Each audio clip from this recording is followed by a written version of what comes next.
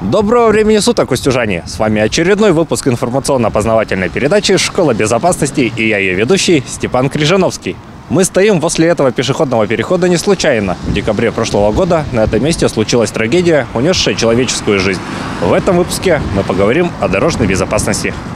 Проезжая часть дороги бесспорно считается повелительницей городского пространства, занимая большую часть улицы. По бокам дорожного полотна – места для пешеходов. В местах соприкосновения, на перекрестках, переходах часто случается ДТП, иногда со смертельным исходом.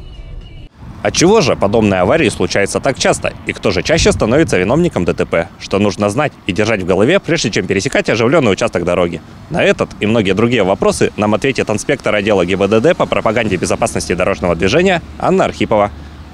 Анна Ивановна, здравствуйте. Здравствуйте. А все-таки, насколько часто происходят вот э, подобные ДТП, когда страдают пешеходы? Вот э, можно какую-нибудь статистику? Если говорить о 2019 году, то в этом э, год пострадало в авариях э, произошло аварий с участием пешеходов 12, э, в которых пострадало 10 человек, в том числе двое погибли. Именно вот эти два погибших, они, эти аварии произошли на нерегулируемых пешеходных переходах. Если кто помнит, это произошло на улице Глединска возле Прокопьевского и на Советском, э, рядом с перекрестком Советский рабочая. А всего на пешеходных переходах произошло 5 аварий. Вот два погибло и три пострадавших было. А кто же все-таки чаще становится виновником ДТП? Водитель или пешеход? А, в 2019 году из 12 случаев а, дорожно-транспортных происшествий с участием пешеходов лишь в одном э, ДТП виноват пешеход. В остальных случаях виноваты водители. Если говорить о причинах ДТП, то со стороны пешеходов э, чаще всего они переходят дорогу в неположенном месте, в зоне видимости зачастую пешеходного перехода. А водители же, например, не соблюдают дорожные и погодные условия, также нарушают скоростной режим, э, боковой интервал или же еще хуже управляют э, в состоянии алкогольного опьянения. Как выяснили, невеселая статистика указывает, что инициаторами большинства ДТП с участием пешеходов выступают водители. В свою защиту автолюбители могут сказать, что абсолютно законопослушными наших пешеходов назвать сложно. И если бы не мастерство и реакция владельцев автомобилей, жертв было бы больше.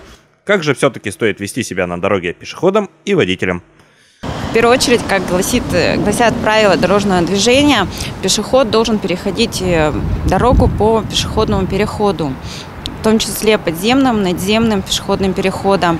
А при их отсутствии по, на перекрестке вдоль линии тротуара а, также точно а, перед э, выходом на нерегулируемом пешеходном переходе на проезжую часть пешеход Э, должен выходить после того, как оценит э, расстояние до приближающихся транспортных средств, их скорость и убедиться в безопасности перехода.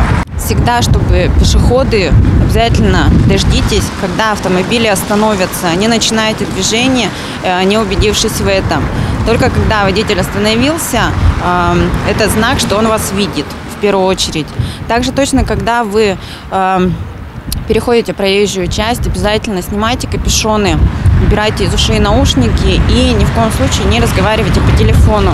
Это вас отвлекает, э, ваше внимание рассредотачивается, и вы э, плохо вы не видите, что происходит на проезжей части. Особенно это касается детей. Родители, тем более ежедневно напоминайте детям о правилах дорожного движения, как правильно и безопасно двигаться э, около проезжей части, как правильно переходить проезжую часть. Не секрет, что у нас в городе масса мест, где полностью отсутствует разметка или знаки. В таком случае пешеход имеет право пересечь дорогу, если там нет ограждения или полосы, но только абсолютно убедившись, что рядом нет движущихся машин.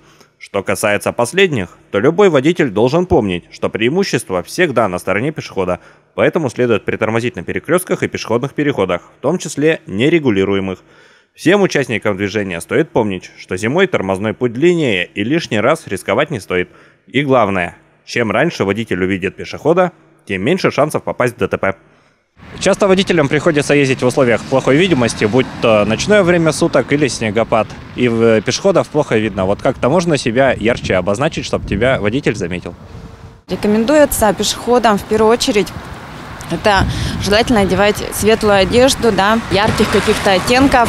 Или же, если у вас темная одежда, то обязательно э, рекомендую носить цветовозвращающие элементы. Э, различные есть, да, и брелоки, и браслеты. Э, и на одежде уже зачастую есть вшитые световозвращающие элементы. Поэтому не забывайте такой э, этот момент, да, сделайте себя заметным, сделайте так, чтобы водители вас видели. В этом выпуске мы разобрали базовые вещи, которые, в принципе, и так все должны знать. Но раз аварии все равно происходят, то напомнить еще раз лишним точно не будет. А наша передача подошла к концу. Будьте внимательными, особенно на пешеходных переходах. Следите за собой и будьте осторожны. До новых встреч! Программа выходит при содействии Управления информационной политики Вологодской области.